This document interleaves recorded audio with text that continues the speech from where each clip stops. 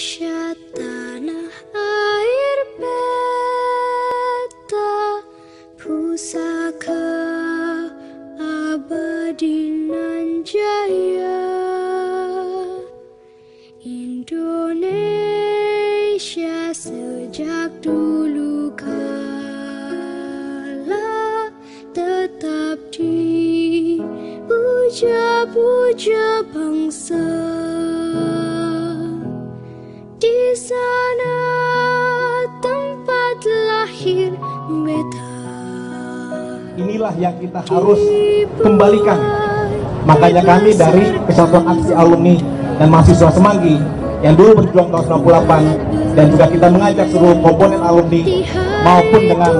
para mahasiswa yang ada sekarang, mari kita berjuang untuk mengembalikan perjuangan reformasi yang sudah selesai